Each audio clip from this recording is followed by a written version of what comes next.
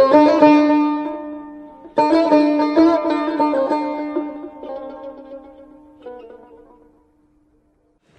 الله الرحمن الرحیم و صلی الله علی محمد و آله در ادامه مباحث مربوط به مجالس سبعه حضرت مولانا جلال الدین رومی در مبحث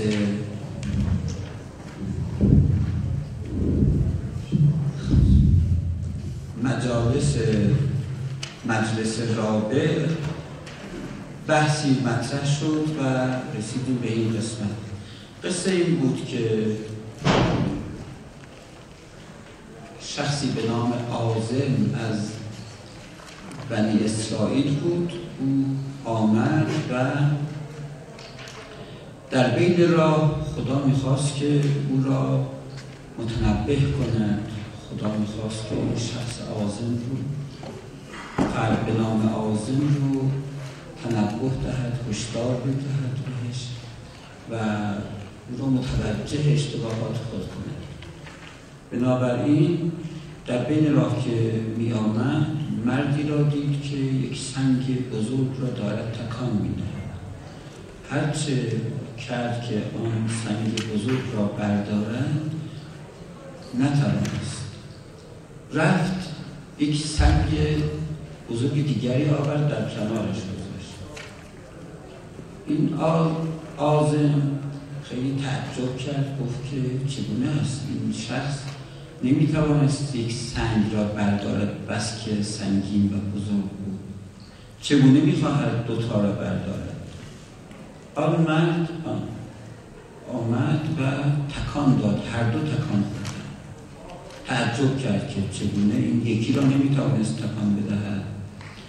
و اکنون که دوتا شد داره تکان می‌دهد رفت سنگ سوم را آورد. وقتی سنگ سوم را آورد در کنار این سه این دو گذاشت سه سنگ خیلی بزرگ رو با دستانش گرفت و هر دو رو هم کرد و برد خودش. این آزم در فکر بود در اندیشه بود که این چگونه هست این چگونه ممکن است. بعد که در راه می‌رفت ناگهان یک اشخاصی را دید یک قومی را دید که اینها دارند کشتزار خود رو میکارند کشت, کشت میکارند و گندم های فراوانی زحمت کشیدند گندم های فراوانی به بار آوردند و وقتی که رسید این گندم ها و خواستند که این رو درو کنند ناگهان رفتند هر کدام یک پاره آتشی آوردند و تمام این مزرعه عظیم رو آتش زدند. او تعجب کرد که چگونه از اینها این همه تلاش کردند این همه کار کردند که بیایند و چند ماه شبانه روز تلاش کردن این قوم این انسان ها که این رشد کنند کاشتن و داشتن. وقتی به محل برداشتن رسیدن آن وقت دیدن که اینها همه آتش زدن. گفت این چیست این چه کاریست که؟ این دومین چیز عجیبی است که من دیدم. بعد در راه می آمد دید که یک گوسفند آمده است. یک گوسفندی هست. یک نفر دنبه او را از عقبش گرفته است یک نفر در جلویش شاخهای او را گرفته است. یکی بر گوسفند سوار شده است. یکی گوسفند بر او سوار شده است.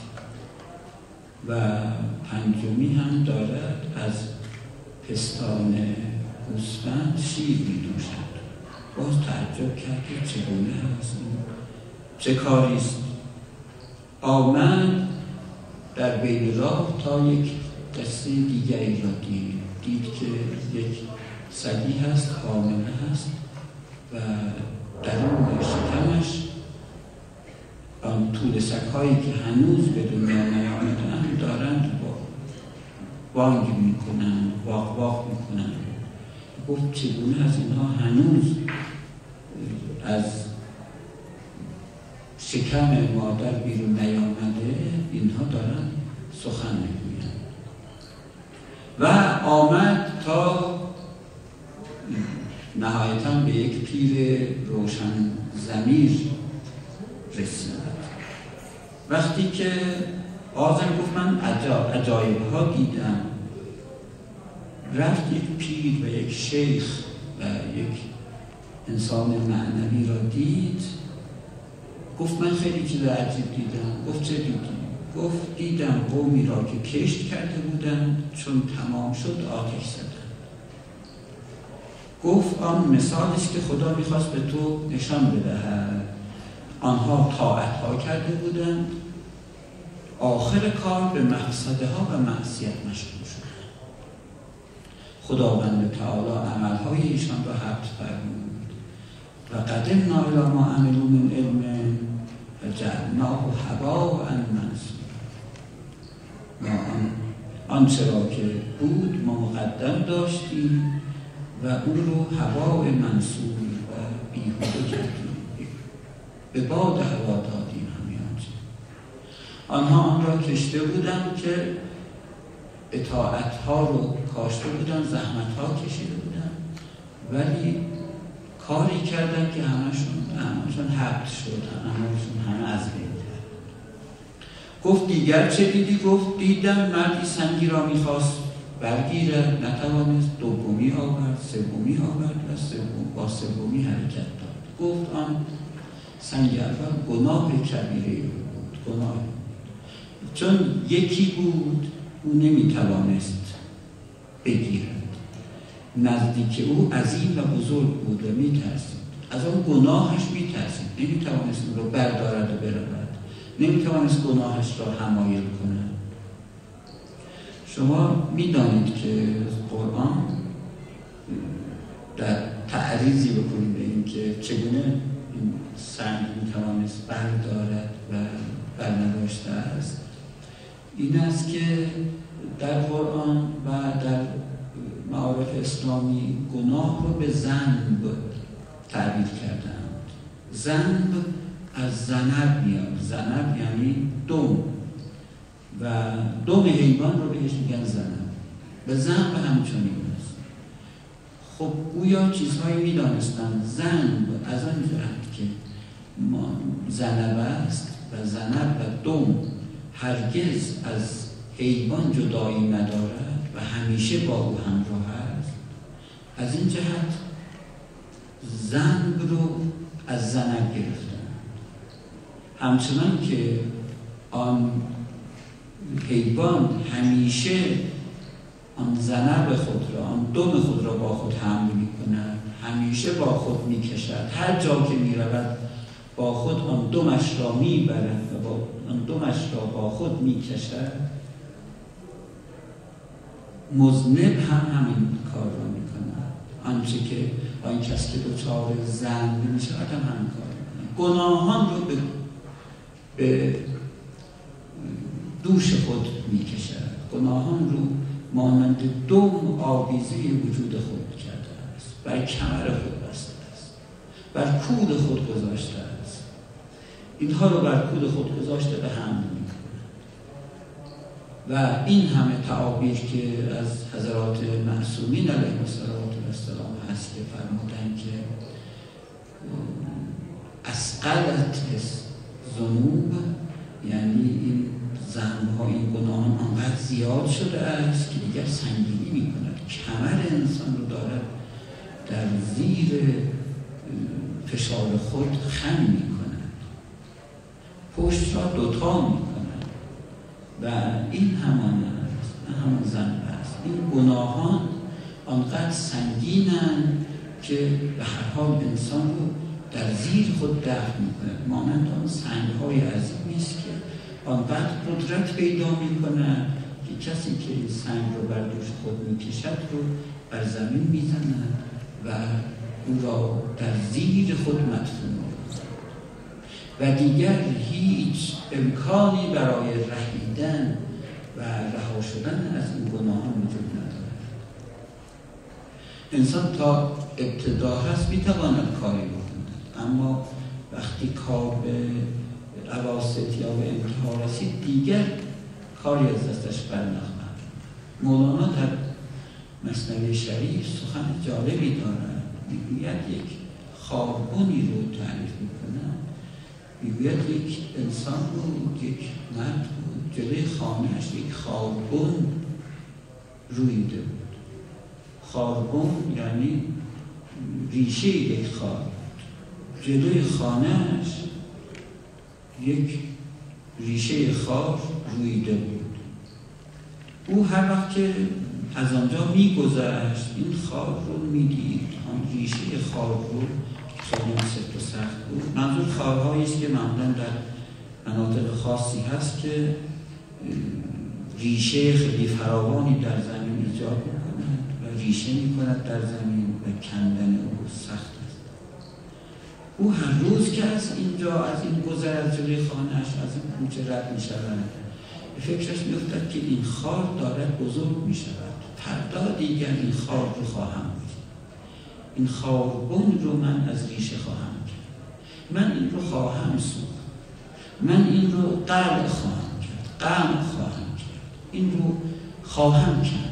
دور خواهم ای هر روز می رود و می آید می فردا این خواهم کرد فردایش که می رسد می گوید فردا این خواهم در قدیم معمول بوده عده از افراد که نسیه می‌دادن عده از بقال ها و فروشندگان که نسیه می‌دادند و هیچ کس این پول آن آنها رو بر نمیگردان روی دیوار و معمولا تابلوی بود که می نوشتن امروز نقد فردا نسیه شخص می آمد آقا نسیه میدی؟ گفت آقا اینو ببین امروز نقد فردا نسیه می‌رفت فردا می آمد که نسیه بگیرد باز می گفت که فردا نیست امروز است. امروز نقد فردا نسیه و این فردا هرگز پیش نمی آمد و او هرگز نسیه نمی قصه همان است. یعنی اینکه این شخص میآید هر روز می‌گوید این گناه رو خواهم کرد. این گناه دارد در دل من در درون من نفوذ می‌کند. این را امروز خواهم کرد. کند. فردا خواهم کرد. هر روز تصویف می کند که مولانا اینجا از این کلمه بسیار زیبا استفاده کرد. تصویف. ای صوفه صوفه بود. به زودی این, این کار رو خواهم کرد. به زودی به زودی چنین می‌کنم. به زودی چنان می‌کنم. به زودی این اطاعت را می‌کنم. به زودی آن معصیت را ترک می‌کنم. آن زنگ رو می‌کنم می‌گذارم کنم به زودی چنین خواهم از شنبه چنین خواهم کرد. از اول ماه چنین خواهم کرد. از اول سال چنین خواهم کرد. اینها همچنین ادامه مولانا در آن مثال بسیار زیبایش می‌گوید که این شخص آمد و وقتی جوان بود اعتنایی به آن نکرد. گفت که فردا و فردا کم کم این خوابون ریشه میدواند قویتر می‌شد و این شخص ضعیفتر می‌شد. او هر لحظه قوت می‌گرفت آن معصیت آن قفلت آن ندیدن حق آن گناه آن ذلت آن زشتی آن مکروه آن ناپسند آن زنب آن اسم کم کم بزرگ می‌شد و قوی می‌شد. ریشه هایش در وجود او می‌رفت در حالی که او کم کم ضعیف مانند گیاهی که بیاید و دور انسان را بگیرد و انسان رو کم کم ضعیف کند چون میشه گناه ایمان رو کم کم ضعیف کند حضرت رسول فرمود که یکل حسد الایمان کما یکل یکل النار الحطبه یک مثال می‌زند پیامبر. میفرماید که حسد حسودی ایمان را می‌خورد. چنانچه آتش هیزم را می‌خورد. وقتی حسد آمد حسد مؤمن یا حتی غیر مؤمن در وجود انسان آمد. کم کم شروع می‌کند میسوزاند. درست است که ممکن است در اوایل چندان آتشی به پا نکند اما یک ذره آتش اگر باشد کم کم در دوار خشب باشد در کنار آن چوب خشک باشد کم کم به او سرایت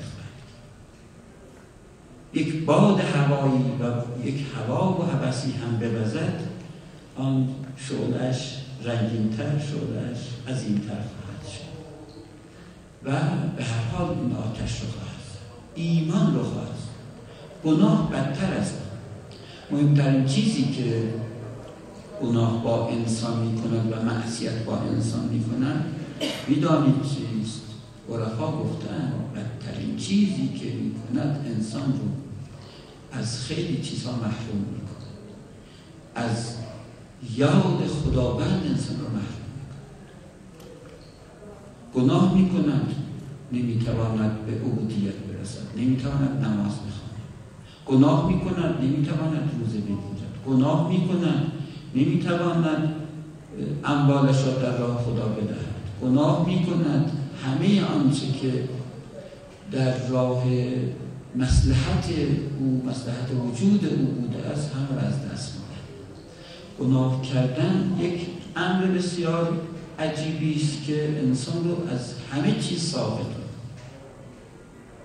اصلا مهمترین چیزی که گناه انجام می‌دهد اعتماد انسان رو از خدا سلب می‌کنه و خداوند یک وجودی می شود مسلوب اعتماد. شخص دیگر به خدا اعتماد نداره به شیطان اعتماد می کند به وساوس شیطانی اعتماد می کند اما به وعده های الهی بی اعتماد می این دیگر قصه دیگری است. این دیگر از گناه خارج می شود از زن خارج می شود معصیت. گناهان درجاتی دارند یک زن بس یک اسم است با صاحب. زن گناهان عادی است. گناهان معمولی است. اسم گناهی است که انسان علاوه بر بدن روحش را هم با آن همراه می کند و بدتر از آن اسیان است زن موجب اسم می شود و اسم موجب اسیان می شود و شما می بینید در مورد شیطان وقتی که خدا می‌گوید میگه اصحی تد رحمان و گفته که بدترین چیز اصلا گناه که خودش مشکلی نداره. زن که خودش مشکلی نداره. مشکل آنجا پیش می آید که زن تبدیل به اسم می شود و مشکل آنجا عظیم می شود و لاینهر می شود که اسم تبدیل به اسیان می شود در زن می آید یک کار غلطی می کند یک کار بدی می کند ولی در اسم بالاتر می به حقیقت کافر می شود به حقیقت مسئله توجه ندارد. پس از آن به اسیان می رسد یعنی دیگر سخن خدا را هم نمیپذیرد. سخن خدا را هم مسخره می این همه آدم هایی که آمده اند و انسان هایی که آمده اند و با خدا به مقابله برخواسته اند اینها چرا چنین کردن اینا مگر آن فطرت الهی یه ایمانی در وجودشان نبوده است بوده است اما با زن کار آغاز شده است. دوچار زن شدن بعد این منجر به اسم شده است با سای مثلث و بعدا منجر به اسیان شده. در مرحله زن می‌توان برگشت. حتی در مرحله اسم هم می‌توان برگشت. اما در مرحله اسیان دیگر کار سخت است. کار از کار گذاشته است. بنابراین خدا وقتی می‌خواهد به شیطان بگه تعبیر اسیان رو به و باید پناه ببریم از این که انسان به سراغ اسیان نرود به اسیان کشیده نشود. دیگر درهای رحمت الهی درهای شفاعت الهی بر روی او بسته می شما در مورد کافران بزرگ و, و مثل نمرود و مثلا فرعون اینها در قرآن نگاه بفرمایید اینجا از کلمه اسیان و اصحاب استفاده کرده. یه جایی هم راجع به آدم استفاده و اصحاب آدم و ربه تقوا که اینجا واقعا کار سختی است. که انسان چگونه می‌تواند که آنجا آن زنب زن برای لذت است. زن وقتی است که انسان یک کاری را انجام می‌دهد بدون توجه به الوهیت. یک غلطی می‌کند اما توجه به خدا ندارد. به خدای من غلط کردم. گناه کردم مزمب شدم و من یغفر الذنوب الا الله. خواندیم در این مجالس سبه فرمود چه کسی فرمود اون طرف که یغفر الذنوب جمیعا این الله یغفر الذنوب جمیعا. همه ذنوب رو خداوند میبخشه این جمیعا چیه؟ مولانا در این مجالس تلاشی دارد می‌خواهد به ما این راه رو بگوید. این زنب از روی جهل است از روی نادانی است از روی ناآگاهی است از روی نفهمیدن است. عدم ادراک است. آنجا یغفر الذنوب جمعی همه زنبه ها رو خدا می در جایی از من یعصم هر کس گناه کند از اسم استفاده می کند خدا من برای راهی را قرار می دهد حال اینکه او بتواند از این راه استفاده کند یا نکند. آنجا دیگر پیشرفت کرده است. از حالت عادی ساده جاهلانه گناه رد شده است. دانسته انجام می‌دهد. اسیان وقتی است که خدا رو ناظر خود بر خود ببیند. خدا به او بگوید نکن و او انجام دهد. لا تقربا هذه الشجره فتکونا من الظالمین این یعنی اسیان. این یعنی اسیان. خدا به او می‌گوید به اینجا مستقیما خصوصا تخصیصا. خدا میفرماید لا تقربا هذه الشجره. خدا وشرب بخورید کلو من هر شیطان رغدن. هر چه خواستید فراوان بخورید دیگه. ولا تقرب هذه الشجره فتكون من نزدیک نشید به اینجا. مستقیما مخصصا اونها رو مورد خطاب قرار میده. دیگر اینجا بحث اینها گندم و چیز دیگری نیست. شجر اینها نیست. بحث دستور و فرمان است. دیگه در اینجا سجده ابلیس به خدا نیست. مسئله نافرمانی است که از این عدم سجود به دست می آن تبدیل اسیان شد و اصا آدم ربه فقط.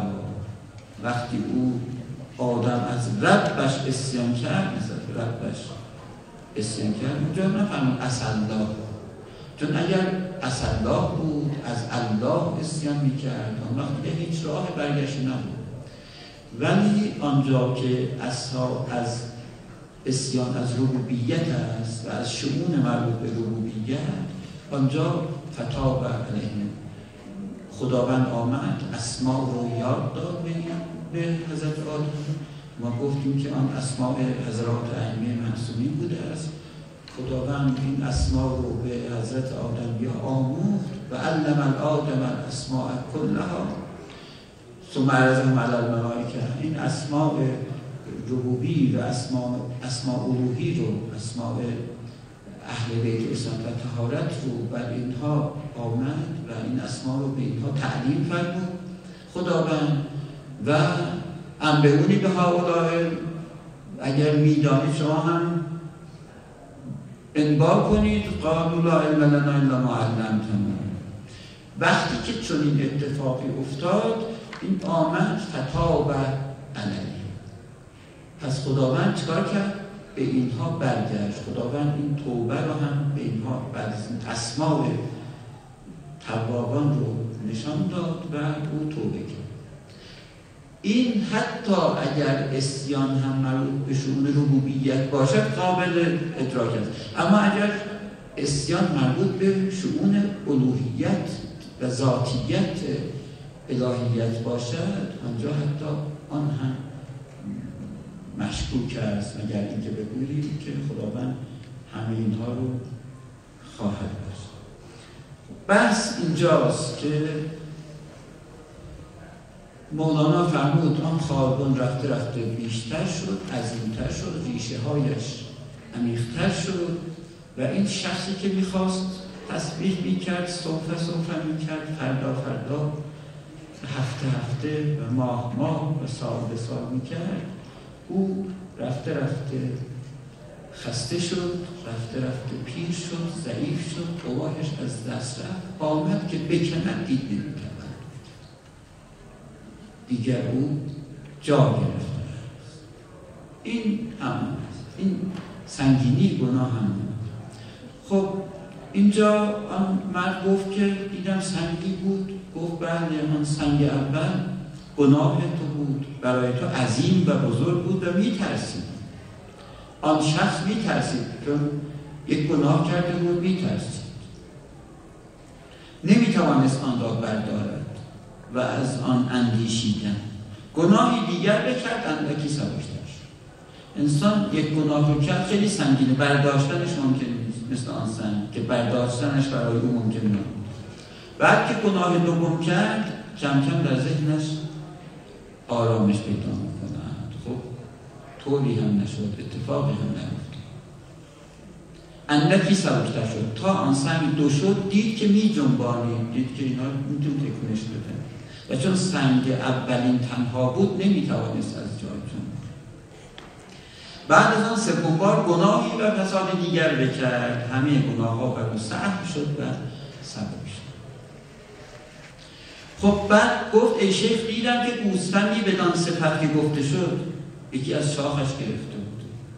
گفت آن گوسفند مثل دنیاست آن گوسفند همان دنیاست که تو که تو نشان دادن آن که بر پشت او سوار بود پادشاهانه. آنکه گوسفند بر او بود در بیشان که از مردمان چیزی گدایی می‌کنند. آنکه دنبه اش را گرفته بود آن مسئله مردی است که کارش به پایان آمده است. عجلش نزدیک است وقت مرگش است. و نمانده است الا اندک.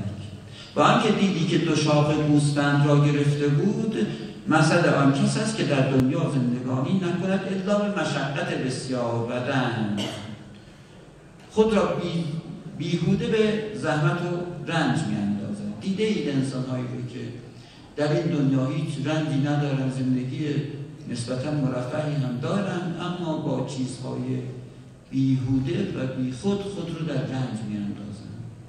با افکاری که دارن خود رو در رنج میاندازن. اینها کسانی هستند که به قول معروف خوشی زده زیر دلشان. از اون می‌پرسید چه چه اتفاقی افتاد هیچ چیزی نداره. هیچ اتفاقی براش نمیفته ولی غم رو بر غم انبار می‌کنن. غم را روی غم میآورد نهایتا اگر ببینی خواهی دید که غمها و دردهای بسیار حقیقی او را از شادی باز داشته است. او شاد نیست چرا که غمهای حقیر به گرد او را گرفته است.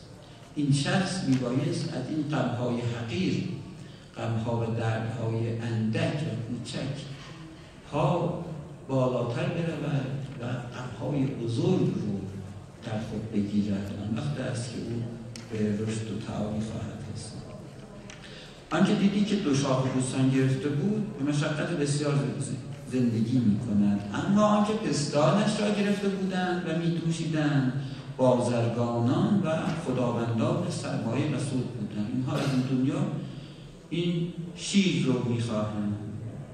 و گفت دیدم مادسهی صد بچگان در اندرون شکم مادر باند می‌کردن گفت این مثل آنهاست که سخن بی وقت خیلی زیاد سخن بی وقت ایشان به مثل سگ بچگانند که هنوز در شکم مادرند و باند می‌کنند هنوز وقتش نرسیده هنوز نتوانست از چهار دست و پا راه برود می‌خواهد بدود خب چه اتفاق میفته به هیچ جایی نمی‌رسه کسی که سخن گفتن رو یاد نگرفته است بخواهد بیاید و سخن بگوید چنین می‌شود که هیچ کس به سخن هیچ کسی تعجب نمی‌کنه. چرا؟ چون کسانی که سخن می‌گویند فاقد صلاحیت سخن گفتن کسانی که این همه موعظه و نصیحت می‌کنن خود فاقد صلاحیت اهلیت موعظه و نصیحت را ندارن خود آن راه هایی که باید بروند تا از آن راه ها با ما سخن بگویند نرفتن چگونه می‌خواهند ما هشدار بدهند و موانع راه رو نشان بدهند.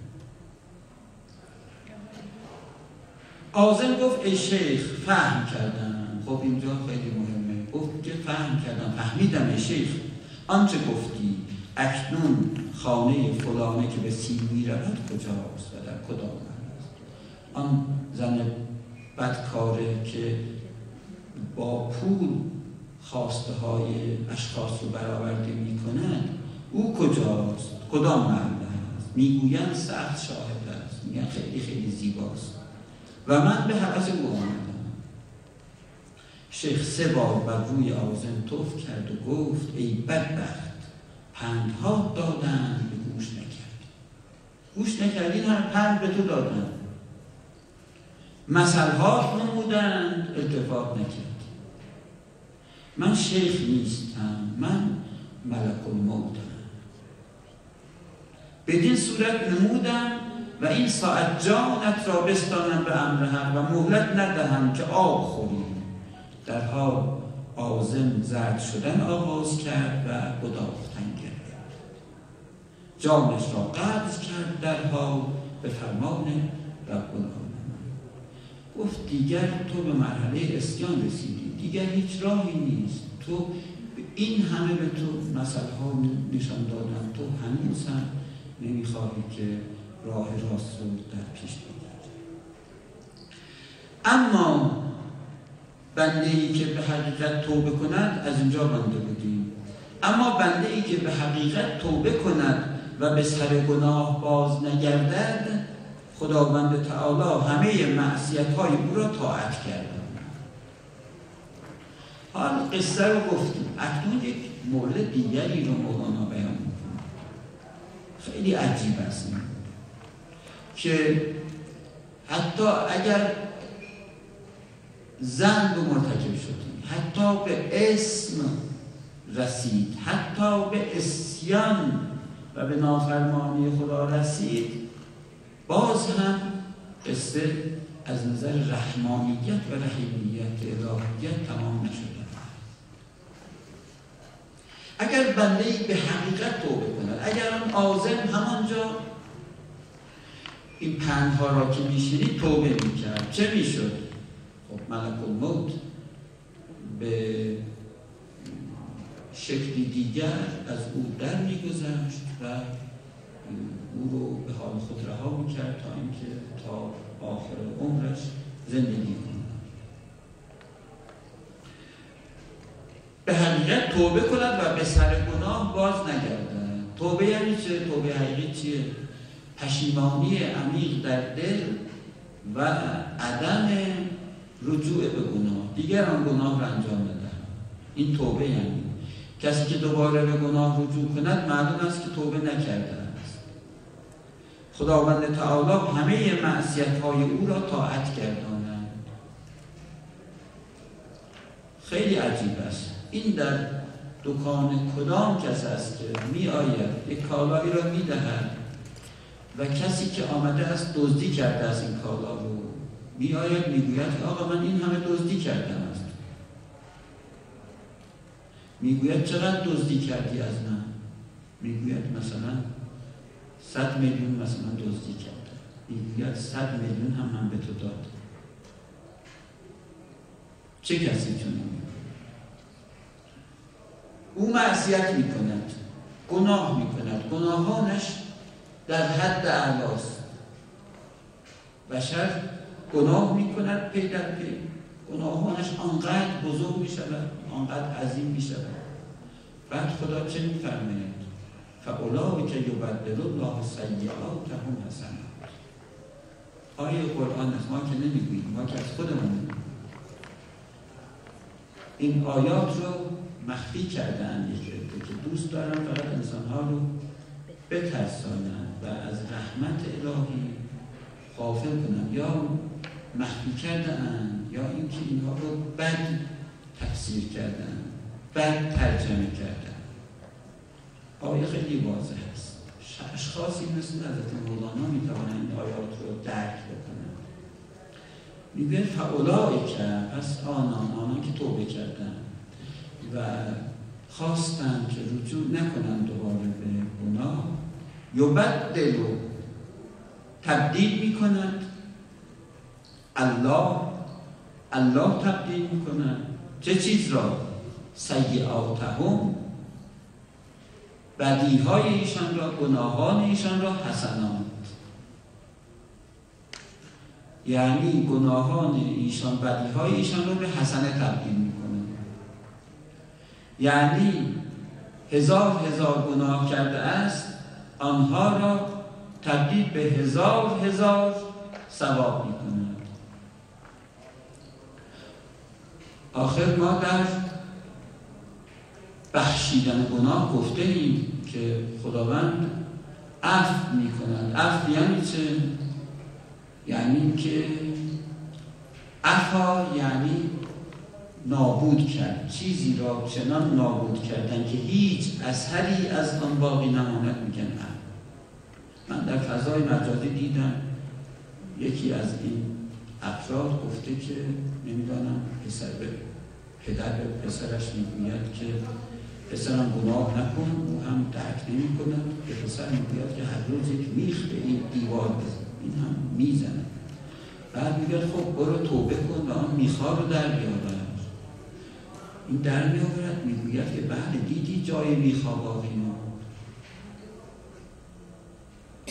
یعنی این کسان جای میخم باقی نمیماند اینها اصلا دارن به جای خدا تصمیم می‌گیرن. دارن به جای خدا می‌گوین که خدا نخواهد بخشید. مزخرفات چیست؟ خدا نه تنها عفو بس و خب عفو کن. عفو یعنی کسی که بسیار عفو می‌کنه عفو یعنی عفو با اثر یعنی اثرش رو هم از بین برد. عفو یعنی این که خداوند می آید و اثر گناه رو بالکل از بین می‌برد هیچ اثری باقی نمیمونه. خدا مثل ما نیست که گناه کسی را ببخشیم. بعد وقتی می آید جلوی چشم ما نگاه کنه آره این همون آدمی که گناه کرده ما بخشیدیمش خدا چون نیست. یکی هست که خداوند می آید و گناهان رو قلب می کند غم می کند کلا از می و سپس عفو می کند قفور یعنی بخشنده یعنی می بخشد همه چیز رو می بخشد هم بخشودن هم بخشیدن. چه چیز را می بخشد او گناهان را می بخشد همان بخشیدن. و چه چیزی به او می بخشد آن بخشودن و بخشیدن با هم متفاوت دیگه. یک علاوه بر آنچه که اون قبلی رو میبخشد چیز دیگری هم به او خواهد بخشید. یعنی بخشش می کند می بخشد آن گناهان رو و به جای آن گناهان ثواب و نیکی و حسنه برای او به او میبخشد. تبدیل می‌کند. خداوند یکی از اسامی اعظم خود. خداوند مبدل است. مبدل یعنی تبدیل کنه. چه چیز را تبدیل می‌کنه اصلا عالم جهان جهان تبدیلات است. خداوند همه چیز را به همدیگر تبدیل می‌کند. این را بدل آن قرار می‌دهد. کسی به مادرش به پدرش نیکی کند خدا مبدل است. تبدیل می کند این حسنه و نیکی او به مادر و پدرش را به چیز دیگری که تبدیل کند به نیکی فرزند. اگر او به پدر و مادرش نیکی کند فرزندش به او نیکی می این مبدل است. خداوند تبدیل می کند و اگر به مادرش و پدرش نیکی نکرد در برابر آنها ایستاد. سخن درشت در برابر مادرش و پدرش گفت تبدیل می‌کنه همان قصه رو تبدیل می‌کنه چه می‌کنه فرزندانش پسرش دخترش در روی او میستن و به او می‌گوین تو نمیفهم تو نمیدان چرا؟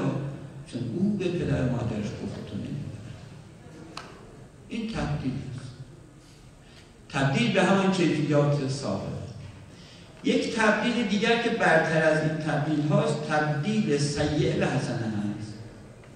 خیلی جالبه. خداوند حسنه رو به سیعه تبدیل نمی کند نیکی را به بدی تبدیل نمی کند ولی سیعه رو به حسنه تبدیل می این هم همون رحمت است. همون رحمت الهی است که باعث می شود بدی را به نیکی یک طرفه انجام حبت اعمال هست. البته در اونجا می توانیم بگوییم که حبت می‌کنن. ولی آنجا نیکی را به بدی تبدیل نمی‌کنن. نیکی را حبت می‌کنن. نیکی را از بین می‌برن به خاطر کارهایی که او انجام داده است. اما اینجا پیشتر می‌رود و بدی را به نیکی دارد هزار هزار بدی کرده است به عوضش می‌شود هزار هزار نیکی. این دیگر از کرم الهی است او مبدل است تبدیل می کند بدی ها را به نیکی ها تبدیل کدام بازرگان از این سودمندتر باشد که معصیت بنده طاعت کرده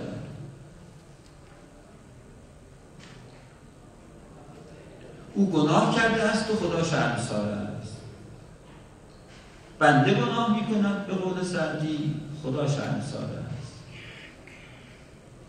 این که این معصیت بنده خیلی سود داره. خیلی جالب است اینجا.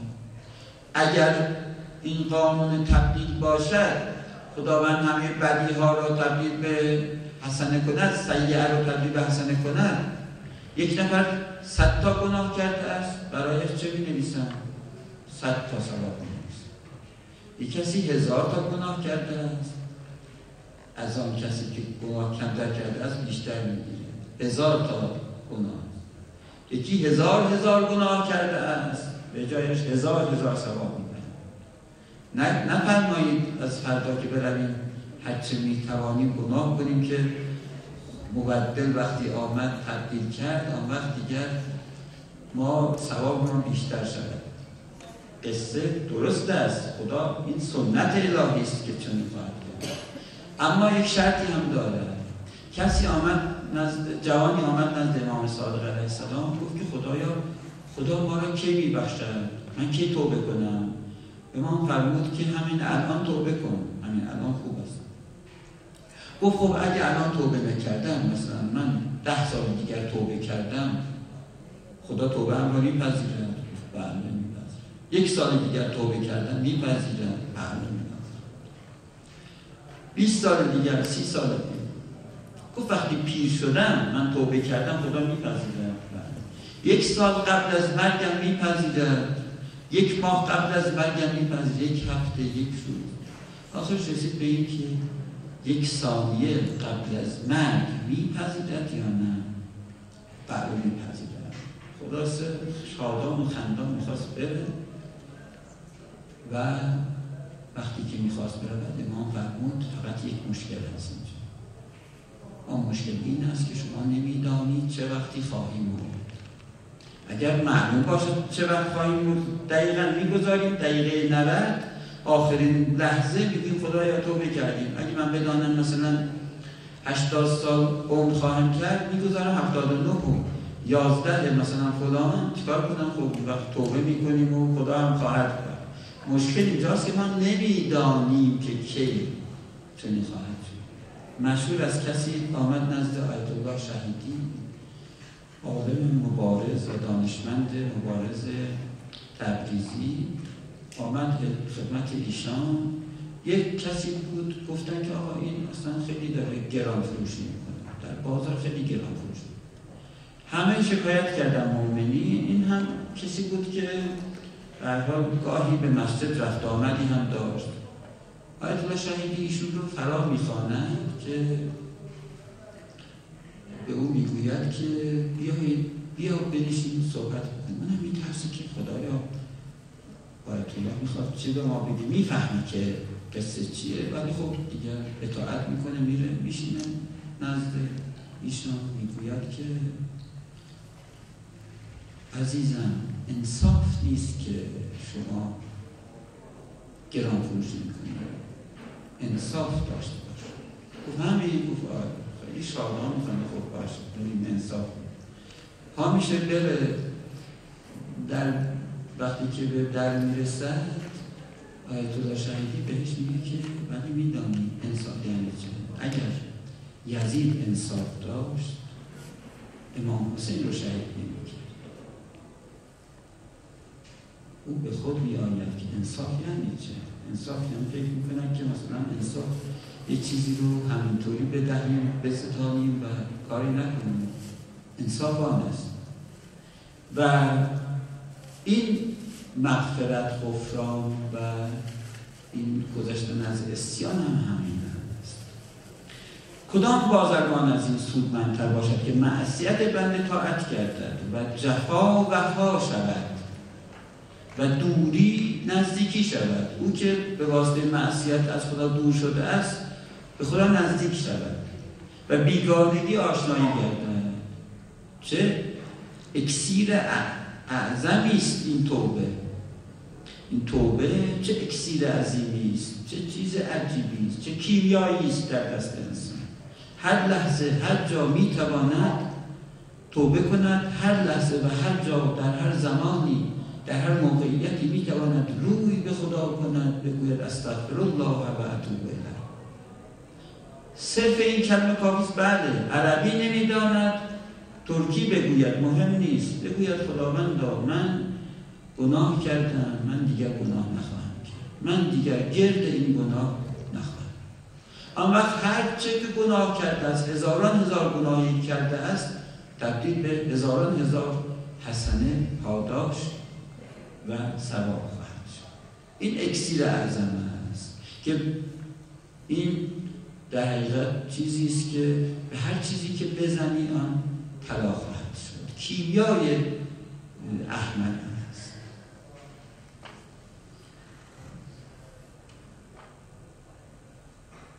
بردر بود به پیشگاه رود بود بردر خدا بود به پیشگاه الهی برود رسول صلی الله علیه و سلم فرمود به هیچ چیز فرزند آدم شادمانه تر از آن نبود که در میان بیابان عظیم رسد فرود آید.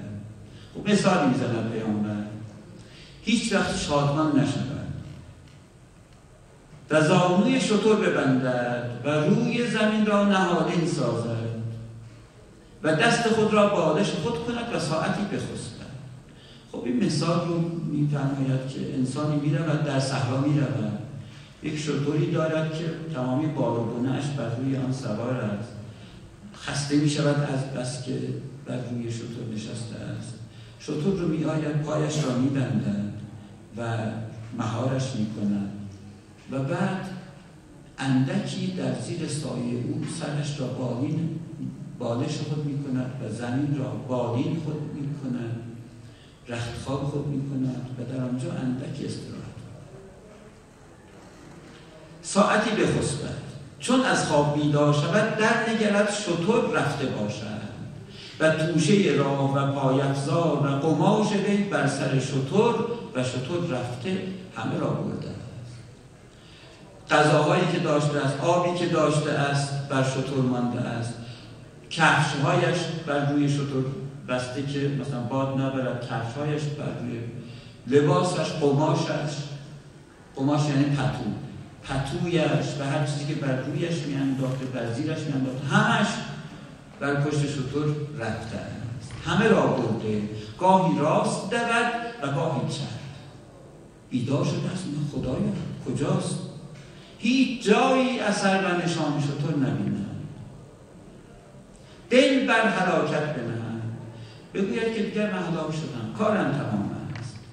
همانجا بازاید که شطور را گم کرده هی می‌رود این بعد از چندین ساعت که گم کرد ناامید و معیوز برمیگردد به همونجا که شطور را گم کرده بود ناگاه شطور را ببیند مهار در دست و پای افکنده روی به بین نهاده ناگهان ببیند چی؟ شطور دارد به طرف او میآید. مهارش را افکنده و به سوی او میآید. چقدر خوشحال می شود این شخص.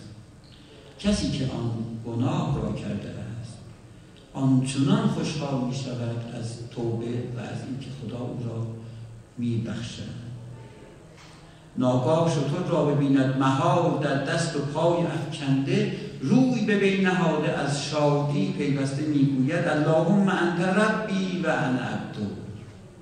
پروردگارا انت ربی تو رب من هستی و انا عبدوک و من عبدت هستم. من بنده تو هستم من برده تو هستم.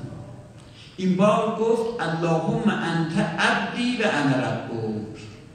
اشتباه کرد.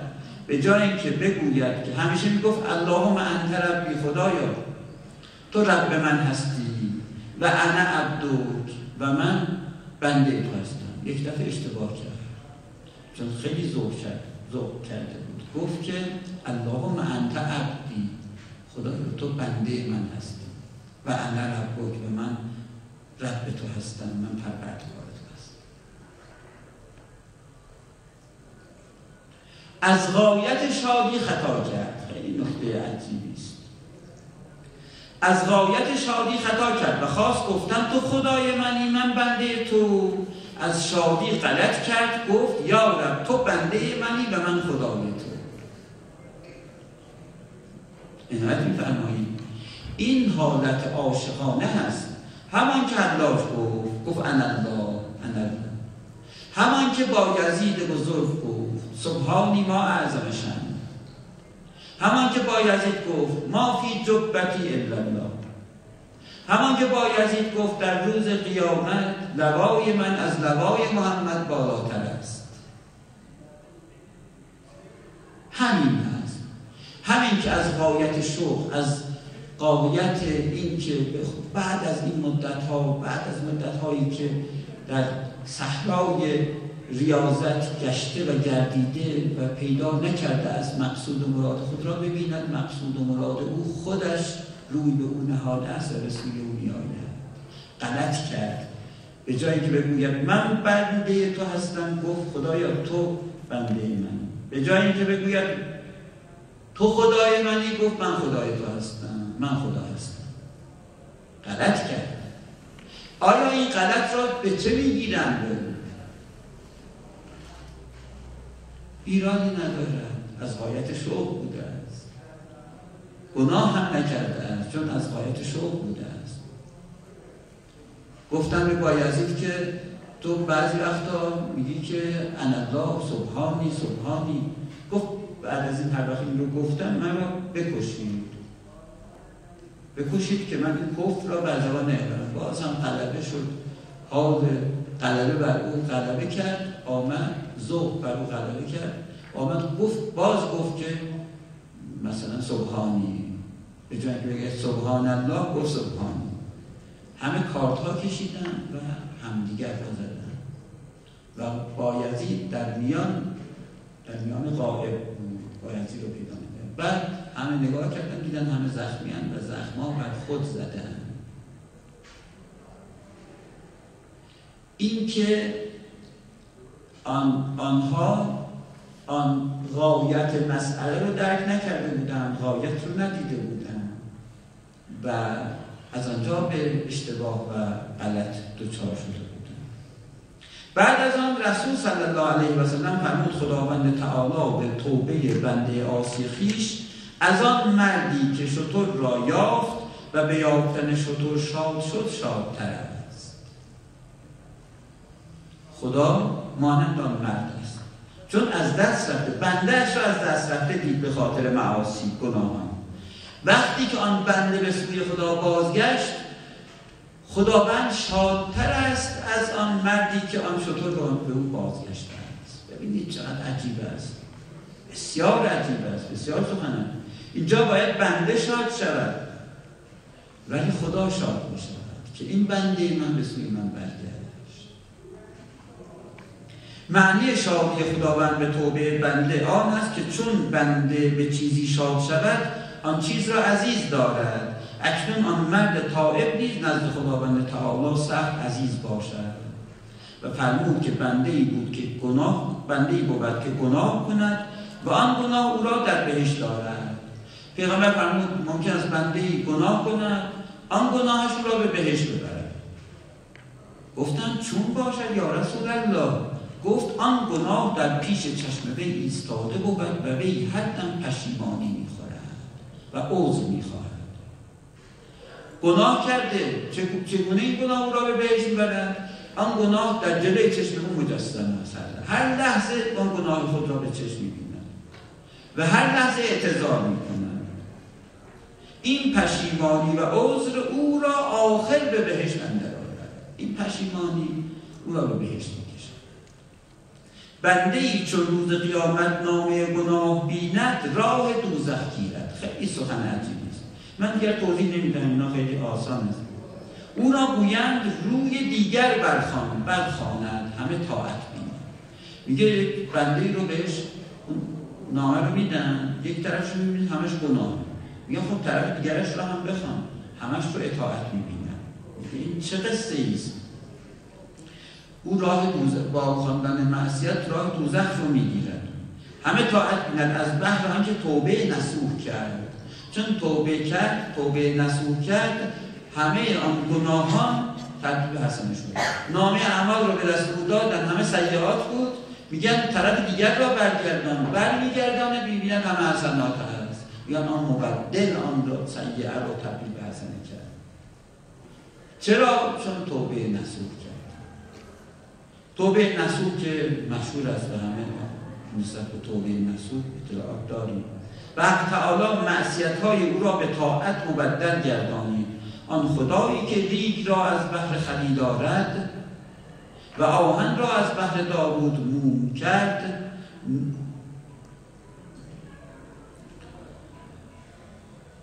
آهن را از بحر داوود موم کرد نرم و گل را از بحر عیسی مرغ گردانید و خون حیز را غذای فرزندان گردانید. معصیت ها را به طاعت مبدل توانت کردن به روزگار. خدایی که آمد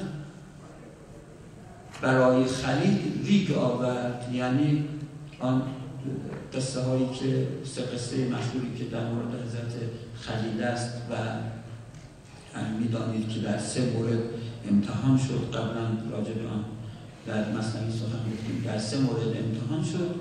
اکنون فرصت نیست که این رو بگویم. در جای دیگر انشاءالله به آن می‌پردازیم. که خداوند او را به جانش به مالش و به فرزندش امتحان کرد. آهن را از بحر داوود موم نرم کرد. گل را برای عیسی مرغ کرد که همه قصه رو همه می‌دانیم. و خون حیز را غذای فرزندان این نطفه ای که هست در رحم از آن خون تغذیه می‌کنن تا اینکه این رحم تا اینکه این کودک در جنین رشد کند و به جای تکامل برسد. رسول صلی الله علیه و سلم گفت شخصی بود مقبل تمار خرما فروختی. اسمش مقبل بود و تمار بود. زنی بیامد خرمای نیکو دید بر دکان تمار گفت در دکان اندرون بهتر دارم. زنی آمد که خرما بخرد گفت که از این بهتر گفت داخل مغازه خرماهای بهتری هست. چون زن به دکان درآمد زن را بوسه داد و در چادر او درآویخت. لباسش را مثلا درآورد و آن زن او را دفع می کرد و می گفت بدکاری کردی به خداوند آسی گشتی و به خواهر خود به مسلمانی خیانت کردی. مقصود ذکر قصه مقبل نیست مقصود آن است که دانی که درمان گناه چه میباید کردن؟ برای درمان گناه باید. میگه این قصه را که میگم قصه چندان حالا جالبی هم نیست. این رو می‌خواهم بگویم که تو چگونه می‌توانی گناه رو علاج کنی؟ او وقتی به آن زن تعرض کرد به خواهر مسلمان خود تعرض کرد مقبل چون توبه نسو کرد این آیه آبی آمد و لذین اضافه علو فاحشتن آن مقبل رفت به توبه, توبه کرد و از آن کارش توبه نمود. قصه توبه ها خیلی عجیب است و صدها قصه زیبا در مورد توبه هست که اگر باشد یک روزی اونها رو بیان می‌کنیم. مقبل چون توبه نسو کرد این آیت بیامد. و لذین اضافه علو فاحشتن آنان که وقتی فاحشه کردن فعل فاحش و زشت به جای آوردن او ظلم و انفسهم. یا اینکه خویشتن ستم کردند ذکر الله خدا را یاد کردن. نگوییم بعد از گناه که دیگر خدا مرا رها کرده است. مهمترین اشتباهی که شخص می‌کند این است. گناه می‌کند.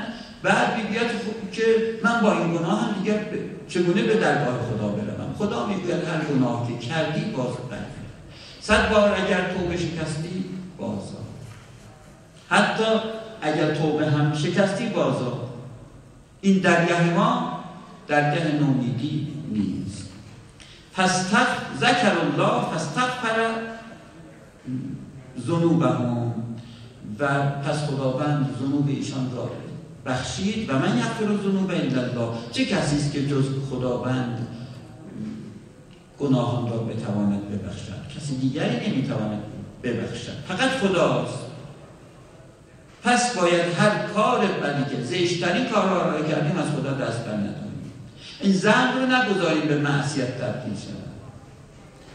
جماعتی می‌گوین این در شهن بهلول نباش آمده است. بهلول نباش کسی بود که می‌رفت و نقش کرد قبرها رو در میان انصار و کفن میدوزدید وقتی رفت و کفن دختران یکی از دختران انصار رو که در گور خوابانده بودن رفت کفن او را که در بیاورد میانه شهر ناگهان وقتی بدن این دختر جوان را دید وسوسه بر او شد و با او مقاربت کرد. بعد از آن وقتی که داشت می‌رفت او با ندایی جواب داد که وای بر تو تو مرا بی آبرو کردی و مرا به این وضعیت گرفتار ساختی خدا بر تو نبخشد. او برمیگردد دوباره او را کفن می‌کنند و از آن وقت در در حقیقت در قبرستان میماند. تا جایی که با تیر و بخوش همراه می شود به حضرت رسول آیه می‌رسد که بلند شد و بود در فلان قبرستان یکی از اولیای ما آنجا هست. برو و او را درس می‌گوید حضرت رسول رفت و دید در قبرستان که در حال دیگر آنجا نشسته است. قیافش زرد شده است سفید شده است. نه می‌خورد نخورده نه آشامیده. مثل یک پوست استخوان شده است و خاک بر سر می‌گیرد و می‌گوید خداوند مرا ببخش مرا ببخش تا اینکه خداوند پیامبر وحی میفرماید. پیامبر می‌رود سرش را بر بالین و روی زانوهای خود می‌گیرد. و همانجا میگه آیا خدا مرا میبخشد؟ آیا خدا مرا بخشید؟ وقتی پیامبر به او مژده بخشش الهی رو و بخشش توبش رو می‌دهد همانجا جان به جان آفرین تسلیم می‌کند. و این آیات و من یغفر الذنوب الا الله. چه کسی جز خداوند این گناهان رو جابر رضی الله عنه روایت می‌کند. پنج دقیقه این را تمام کنیم با اجازتون جابر رضی الله عنه روایت می‌کنه که جوانی بود از انصار. نام وی ثعلبه ابن عبدالرحمن بود. خدمت رسول کردی. روزی بر در سرای یکی از انصار گذاشت از خانه یکی از انصار میگذشت و در آن سرای نظر کرد. به داخل خانه نگاه کرد. میگن هرگز به در به درون خانه که درشان بازش نگاه نکنیم. از گناهان بسیار بزرگ است. چشم وی بر روی زنی افتاد که خیشتن را اون وقتا که مثلا در بیرون نبود همه در خانه خود را میشستن به ایستاد در بی به قصد می دید که زنی هست در خانه خود را می این هم ایستاد و نگاه کرد. ناگاه به دلش آمد نباید که خدای تعالی وحی فرستد به رسول علیه السلام در حق من. دیده بود که آیه میفرستن ترسید که خدایا من که صحابه رسول هستم یک دفعه خدا به او می‌گوید که فلان صحابه فلان شخص چه کرد آن جوان چه کرد. خیلی پشیمان شد. چون پیغمبر از همه با خبر از همه علم ها از همه غیب ها با خبر بود. از آن نظر شهوت پشیمان شد. گفت خدایا به پیامبرت نگو و پیامبر مرا اتاب نکند. از مدینه بیرون آمد از شهر بدان کوه که بیان مکه به مدینه است چهل شبانه روز به آن کوه بود و زاری می‌کرد. در یک کوه چهل شبانه روز بود گریه می‌کرد و رسول از وی می‌پرسید و آن چهل روز بود که بعد نمی آمد چهل روز بعد نمی آمد که قصه او رو به او بگوید ولی او چهل روز در آنجا توبه می‌کرد و میگداخت. تا کافران گفتن و دعهو ربهو و قلا. و دعهو ربهو و قلا. یعنی و یعنی رها کرد پروردگارش و قلا و او را به حال خود گذاشت.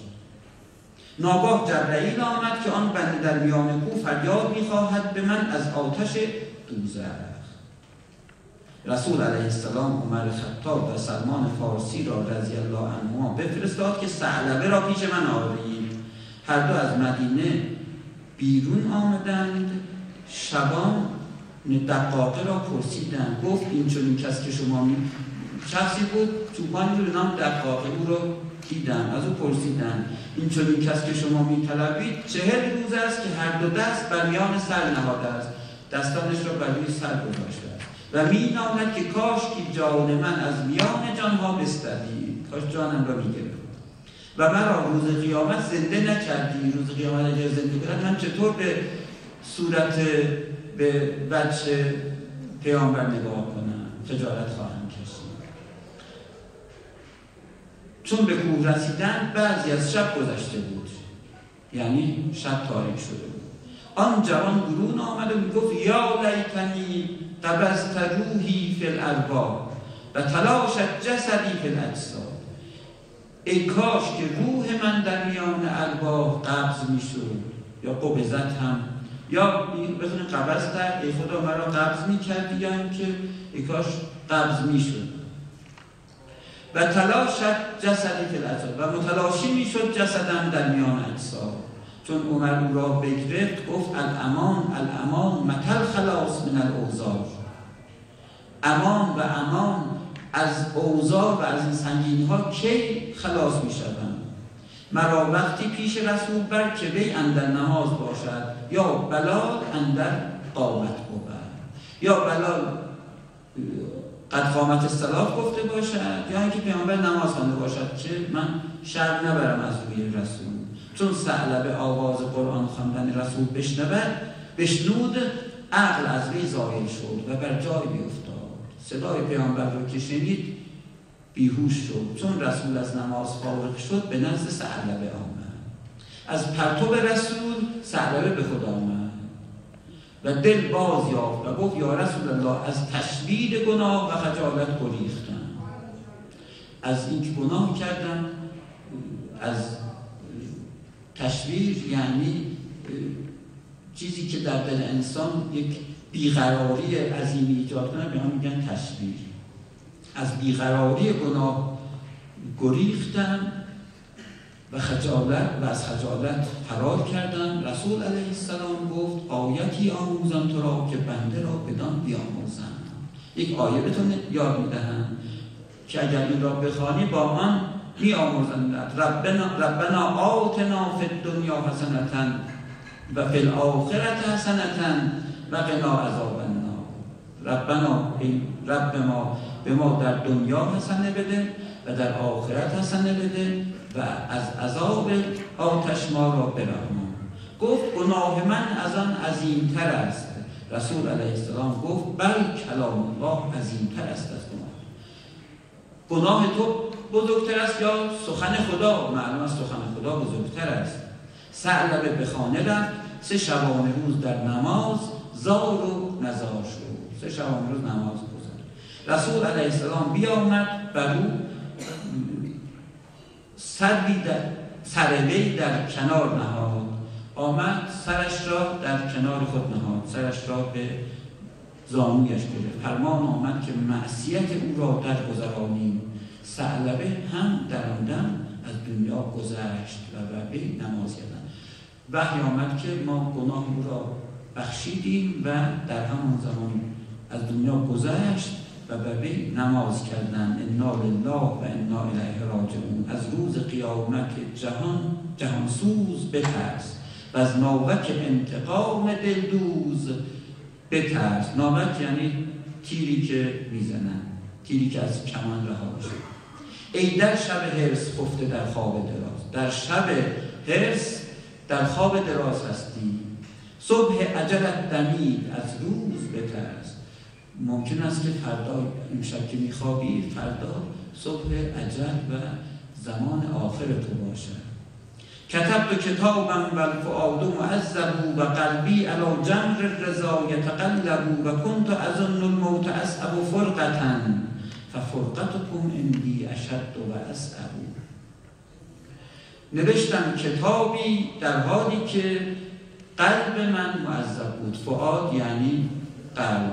کتب تو کتابت کردم کتابم نوشتم نوشته ای و فعاد و بالا از در حالی که فعاد و قلب من معذب بود در عذاب بود. و قلبی علا جمر رضا بود و قلب من برای جلب رضایت الهی متقلب بود. قلب تقلب از کارش تقلب یعنی زدن. قلب من به خاطر جلب رضایت الهی می‌زد. و کنتو از اون الموت از ابو فرقتن من کنتو از اون یعنی زن می بردم گمان می بردم که کانه به اضافه فعل مزاره ماضی استمراری است. یعنی که گمان می بردم مرگ الموت مرگ اسعب سعبتر است و سختتر است فرقتن از جهت فرقت. از جهت فراغ گمان می بردن که مرگ سختتر است. یعنی بالاتر از مرگ دیگر فراغی وجود ندارد. ففرقتکم اما فرقت شما دوری شما دوری محبوب و معشوق اندی اشد و اسعبو نزد من شدیدتر و سختتر یعنی دوری معشوق و محبوب بسیار سخت است از دوری مردن و مرگ. صلی الله علیه علی محمد و آله اکرمی و صلوات الهی بر پیامبر و آل اکرمین حضرتش باشد. اگر گاهی یک مقدار با سکته خواندن به خاطر این نگارش غلطی است که این ما و این کتاب ما دارد ایشالله که ببخشید که چند دقیقه هم وقتتون رو بیشتر گرفتیم. ایشالله که خداوند همه ما رو آماده قابل توبه نسود بفرماید. و السلام علیکم.